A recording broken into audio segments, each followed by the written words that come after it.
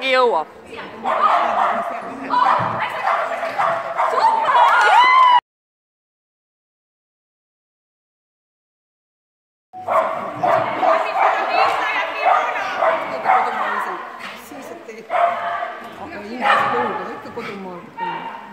siis sa pead võtma Eesti hagi endale